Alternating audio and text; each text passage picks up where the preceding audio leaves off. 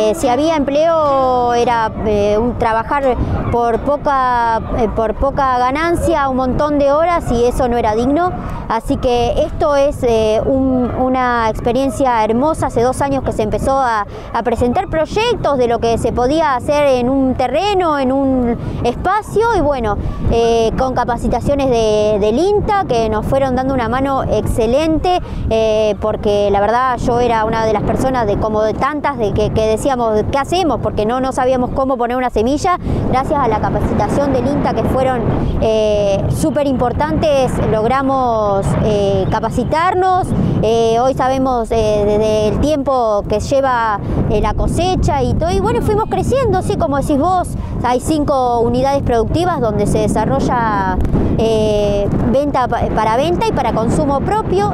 obviamente el consumo es excelente porque es un una huerta 100% eh, agroecológica, así que la, soberanía alimentaria es básica, así que eh, estamos muy contentos con eso. La agricultura familiar campesina indígena puede realmente abastecer eh, localmente a nuestro pueblo, de alimentos y de alimentos sanos, porque también otra de las características que se está dando en toda digamos, la provincia de Buenos Aires es la forma de producción, que es la forma de producción agroecológica. El rol de la agricultura familiar es abastecer de alimentos a nuestro pueblo. Entonces ahí, obviamente, que tenemos que formalizar mucho nuestro sector, tenemos que trabajar fuertemente en generar este, este esquema de unidades productivas, que son unidades productivas colectivas, porque es la manera que vamos a poder eh, generar la cantidad y la calidad de alimentos que necesitamos para abastecer, vuelvo a decir, localmente a nuestras comunidades.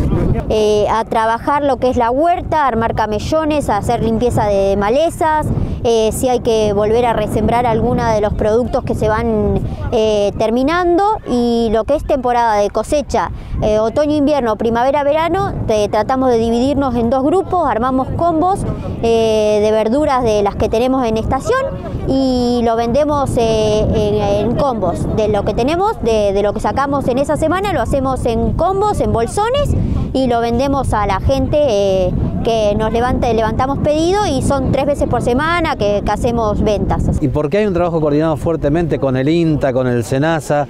Hay una voluntad muy fuerte del gobierno nacional y obviamente de, nuestra, de, nuestro, de nuestro ministerio de fortalecer la producción para abastecer eh, de, alimentos sanos a nuestro pueblo. Entonces, este, esta experiencia va en ese, en ese contexto y en ese camino. Nosotros estamos muy eh, contentos porque en este caso en particular se trata de productores que antes de producir alimentos no lo producían. Acá hubo un fuerte proceso de capacitación donde el INTA jugó un rol muy importante y cuando las, instituciones se ponen a disposición de las organizaciones territoriales, de, nuestro pueblo organizado, bueno, estos frutos son los que, los que se generan y son muy importantes.